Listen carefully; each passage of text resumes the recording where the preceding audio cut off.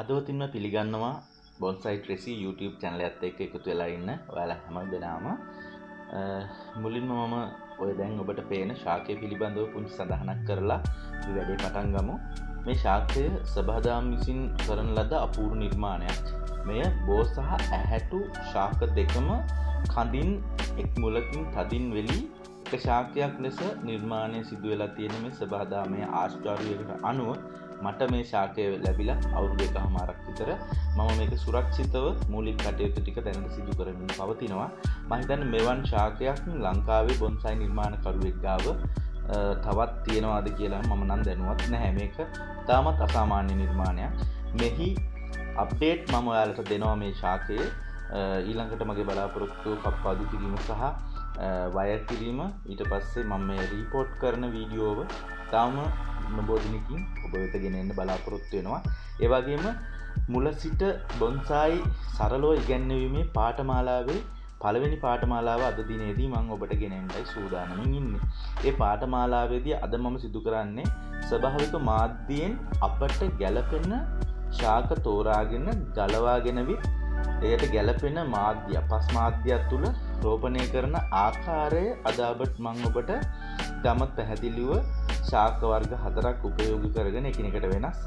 අද ඔබට මං කියා දෙන්න සූදානම්. ඔය දැන් මම මුලින්ම ඔබට පෙන්න්නන්නේ ඇක්ටේරයා. මේ ස්භාවික ඇක්ටේරයා ශාකය. අපි අර කුරු ඇක්ටේරිය කියලා අපි නර්සරියෝලින් මිලදී ගන්න එකේ ඔර්ජිනල් එක. නැත්තන් ශ්‍රී ලංකාවේ වනාන්දර ආශ්‍රිතව වැවෙන ඇක්ටේරයා ශාකයක් තමයි මම ඔය අද මේ වෙලායි ගලවන්න. මේ ශාකය ඉතාමත්ම සුදු පැහැයට හුරු වෛරං සහිත කඳක් තියෙන ශාකයක්. ඉතින් මේ ශාකය ඉතාමත්ම අපේ බොන්සයි කලාවට ගැලපෙනවා පරිනත්ත පෙනුමක් කඳ තුළින් ගසට ලබා ගැනීමට ඉතාමත්ම අපට සහයෝගයක් දක්වන ශාකයක්. මං මෙහි තිබෙන මේ අමතර පත්‍ර සහ කුඩා අතුරිකලි ඉවත් කරන්නේ මට දැනට මේ ගසේ ප්‍රධාන සැකිල්ල පමණයි අවශ්‍ය. ඒවගේම මේ අත්තු කොල්ල ඉවත් කිරීම තුළින් මේ ශාකය තිබෙන ජලය වාශ්පවීම අඩු කරගන්න පුළුවන්. එතුළින් මුල් ඇද්දවීමට ගහට අමතර ශක්තියක් අපිට ලබා දෙන්න පුළුවන්. ඒවගේම මම මේ ප්‍රථම සිටවීම සඳහා උපයෝග කරගන්න මාධ්‍ය ලෙස මතු පිට පස් ගොම පොහොර ඒවගේම වැලි ඒවගේම උළු කැට ස්වල්ප ප්‍රමාණයක් ඒ ජලය බැසෑමට පහසු කිරීමට අඩියට යෙදීමට උළු කැට කැබලි කිහිපයක් අපි භාවිතා කරනවා. වගේම මම අද දිනේද කෘතිම පරෝටින් පරෝටින් හෝමෝන එකක් තමයි භාවිතා කරන්න මේ කැපුම් සඳහා. මේ දිලීර ආශාධන තුළින් මුල් ඇද්දවීමට වෙන අපහසුතා මගෑරීමට තමයි අපි මේ දිලීර හෝමෝනයක් මෙහි කැපුම් සිදුව තිබෙන ස්ථානවල ගල්වන්නේ පසට යට වෙන ස්ථානවල.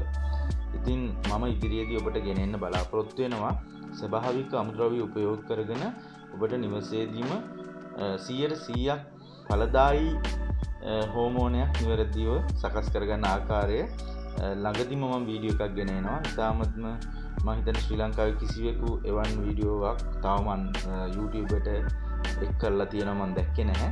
ඉං ඔබට එය මම මගේ ළඟ තියෙන දැනට තියෙන ශාක දාහකට ආසන්න ප්‍රමාණය මුල්ලද්දවා ගැනීම සඳහා මම එය තාමත්ම ප්‍රායෝගිකව සාර්ථකව අත්දා බැලපු ක්‍රමයක් සහ ජාතියන්තර බොන්සයි නිර්මාණ කරුවන් දැනට භාවිතා කරන ක්‍රමයක්. මිතින් අපි උළු කැට කැබලි කිහිපේ දමාගෙන ඉන් අනතුරුව පස් තුළ මෙම ශාකය නිවැරදිව ඉතාම රිජු ආකාරයට ගැන්නේ කෙලින් හිටිනු විදිහට බඳුන තුළ සිටවා ගන්නවා. අදත් මම ඔබට කියන්නේ මම පැල සිටවන කම්බියෝතන වෙලාවේදී මගේ දකුණු අදේ තිබෙන ගැටලුව නිසා යම් කිසි නුහුරු ගතියක් ඔබේ දෑසට දැනේවි. ඒ ගැන සැලකිලිමත්වෙන්න එපා. මම උගන්නන කලාවේ ඔබට ගන්න තියෙන ආරය පමණක් ගන්න.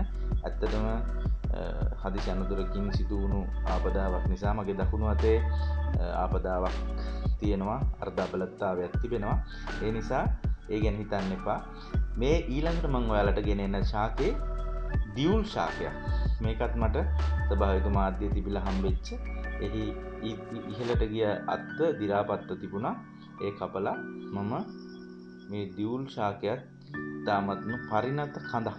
මේ අපි සොයන්නේ පැතලි භාජනයක් තුළ වනාන්තරයේ වැඩුණු ශාකයක අනුරුවක් නිර්මාණය කිරීම අපි බොන්සායි විදියට හඳුන්නන්න ඉතින් මේකට අපිට මේ කඳේ තිබෙන පරිනත ස්වභාවය ඉතාමත් වැදගත්. ඉතින් ඒකට ගැලපෙන ශාක්ක වැඩි වශයෙන් මම යොදාගන්නවා බොන්සයි කරන්න. ඒවගෙන යාලුවනි මම බොන්සයි කලාවෙදී අපි නර්සරිවලින් ගන්න එමනත්තම් අපි කියන්නේ ෆාම් මොලින් ගන්න පැළජාති බොන්සයි කරන්න මම වැඩි පුචිකත්වයක් දක්වන්නෑ මොකද එහි බොන්සයි කරන්න කියලා අමුතුයෙන් අපිට කරන්න දෙයක් නෑ අතු ටිකක් කපලා හෙට හිට දාලා ඔය පලට් පෝච්ච එක හිටව ගන්න පුළුවන්. ඊට වඩා මේ ෆයිනන්ශල් වැලිඩ් එකත් තියෙන්නේ සභාදාමේ තියෙන විශාල සාකයක් කුරු කරලා බදුනක හිටවා ගත්තොත් තමයි. අපි හිතමුක මේ පැළහදනය වගින් කවදහරි දවසක විකුණන්න ගයා කියලා. මේ පැලේමොකක්ද ආමක කුරු ඇක්ටේරිය ඒ මොනවද? ඊට වඩා පහසු උත්තරයක් අමේ දියවුල් ශාකයක් අනේ ලස්සනයිනේ හදලා තියෙන විදිිය කියලා සර්ප්‍රයිස් එකක්කෙයි අපි ළඟට එන කස්ටමට ඉතින් අන්න ඒකයි සිද්ධ කරන්න ඕනිම කාරණය ඉතින් ඔය දියවුල් ශාකයට ටිකක් විශාල බඳුනක් අවශ්‍යයි. නමුත් අර මම කියන්නේ මගේ නිර්මාණවලදී තියෙන්නේ හරය පමණයි. ඊට වඩාගේ අර පොෂ් ගති අඩුයි කියල. ඉතින් ඔන්න මම පාවිච්චි කරන්න මීට පෙරමම් පාවිච්චි කරපු කළුපාට ඉටි මල්ලක්. ඒක මිතිස්සල පැලයක් හිටවල තුවිල මගේ පැළේ අයින් කරලා ප්ලාස්ටික් භාජනකට දැම්ම. ඒක තමයි අධදිනයේදී මේ දියවුල් ගස සිටවා ගැනීම සඳහම උපයෝග කරගන්න. ඉතින් මේ මම නිකන් කියන්නම්. අපිට හොඳ ඇහැටු බෝ නුග ඇරුණහම කුඹු ශාකයක් ඉතාම ලස්සනයි. ටිකක් හදන්න අමාරුයි. වගේම මීශාකයට මගේ යාලුවනි හොඳ අවධානයක් දෙන්නම මීශාකය තියෙන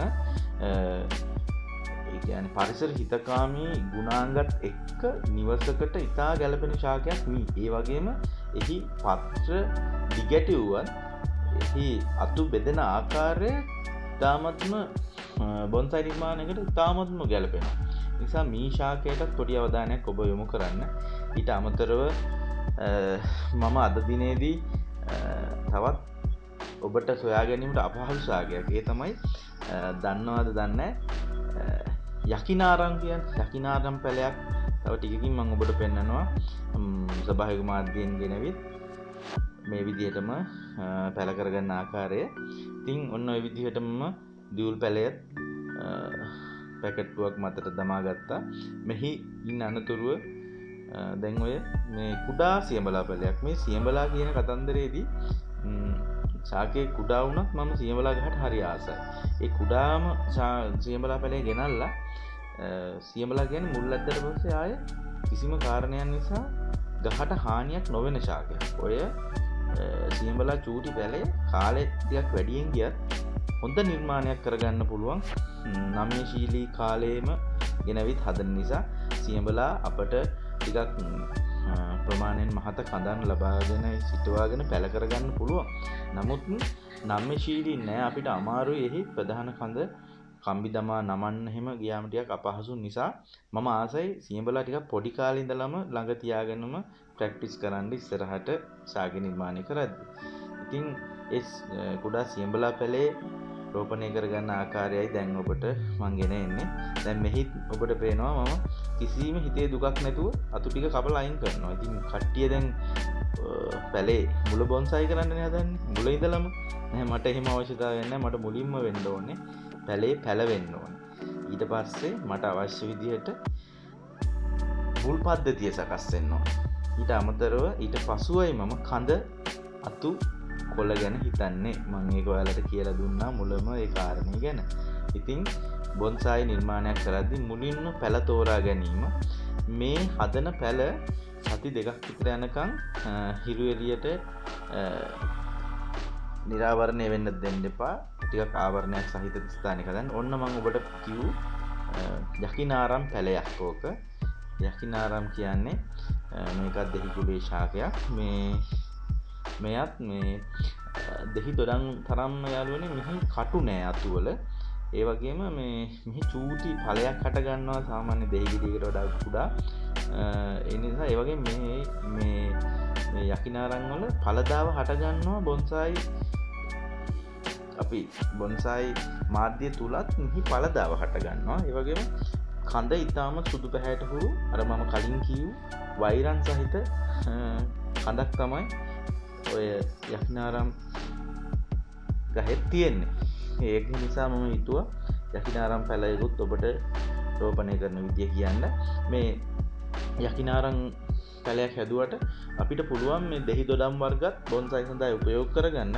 අර කටු සහිත නිසා ටිකක් ගහ අපිට නඩත්තු කිරීමේදී පුංචි පුංචි අපහසුතා තියෙනවා. එවුනාට දෙහි දොඩංවගේ ශාකත් බොන්සයි නිර්මාණ සඳහා අනිවාරයම යොදා ගන්නවා කියනකත් ඔබට මේ වෙලායි කියන්න කැමති ඉතින් මෙහි මම අර චූටි මුල් කැල්ලක් ඉතුරු කරලා දිග මුල මංගවත් කරා. ඊට පස්සේ අර විදියට සිටුවා ගන්නවා අපි භාජනයක. ඊල්ළඟට මේදිත් අපි වැඩි වශයෙන් කඳ තෙමන්න ඕනේ. හෙම නැත්තැන් අපි ප්‍රොපගේට් කරන ගැනමම් පස්ස ගන්නන්නම් ඔය පැල පැලවෙනකම් ප්‍රොපගේටරයක් තියෙනවන. මනතන් ප්‍රොපගේටර් කියලා මහා කතන්දරයන්නෑ මම ප්‍රොපගේට් කරන ආකාරත් මං ඉදිරි වීඩියෝලට ගෙනන්න පැලේ පැලවෙනකම් අපි පරිස්සං කරගන්න එක තමයි කරන්න ඕන. ඉතින් ඔන්න ඔය ආකාරයට මං අද පැළ හතරක් ඔයාලට හදලා තියෙනවයි පැළ හතර දැන් මම ඉරියලිය වැටන්න තිස්ථානක තිබිලා පලවෙනි චූටි දල්ල එනකං පරිස්සං කරගෙන ඉන්න අනතුර සාමාන්‍ය විදියට වතුරු දාලා ගස්ටික නඩත්තු කරගෙන ඉස්සරහට යනවා. ඉතින් ඊළඟ වීඩියෝයෙන් මම දෙවනි පාඩම ගෙනෙනවා ඒවගේ මගේ පැලවල අප්ඩේට් ගෙනෙන එනම් අදට ජයවේවා සමුගන්නවා ඔබෙන්.